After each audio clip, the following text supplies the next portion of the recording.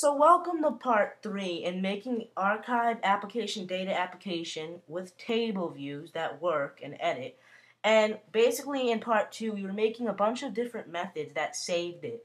And I found a problem with one of them, so just bear with me here. Right after this code, after ns integer, we want to put table view colon UI table view space star, close that, then table view. And that was just a little problem that would have crashed the application that I found was wrong.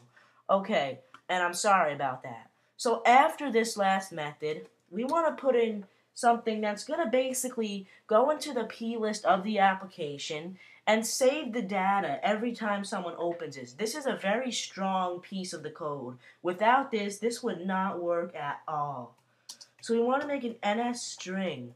And what we're going to name this is data file path, which we've already named. Sorry about that. Two open brackets. And then in there, we want to put NS string. And we're going to name this data file path, the same one, semicolon. And then we want to make an NS array. And this is just going to be called paths. Space equals space. NS search. Um, no, ns search, sorry, search path for directories in domain and in domains. Right when you see this, just press enter.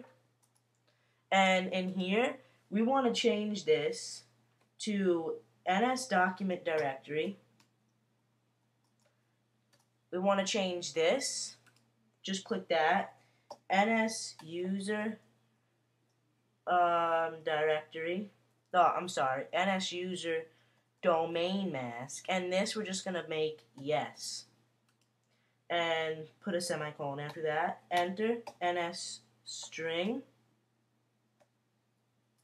I fail at making NS strings. I can never type them right. Something wrong. Star document directory.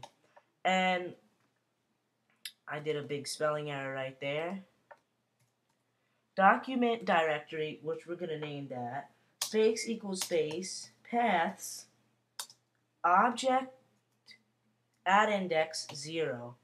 Okay? And semicolon, enter, data, file path, space equals space, two open brackets, document directory, which is already declared, string by appending, and just delete all that, by appending, and we want this to be path component, okay?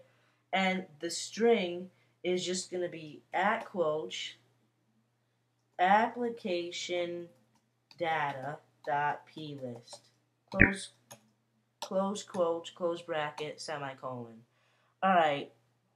Now that is gonna edit the plist and make it this is basically the whole memory and we don't want a semicolon, we want a space retain, then close that, and then put another semicolon. And then enter, return, data file path with a semicolon. So now if we command B, everything is going to work. If I build and go, it's going to be perfectly fine. The app won't crash, and we're good, guys. Everything's going to work, and it's perfect. So now what we're going to be doing is basically editing the um, making it so the edit button works, which is a lot of code, but nothing too major. So in the where are you? appdelegate.m, I'm just gonna basically put this as a method. So this is just gonna be a void right here at the end. And what we want to make this is all. We're not going to be doing that yet. We want to make a void.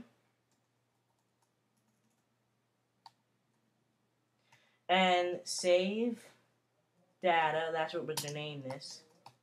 In here, we want to make it ns keyed archiver archive root object. The ID is gonna just be data copy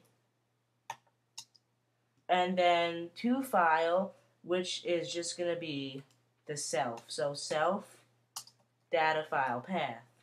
Now we're good to go and close that twice. And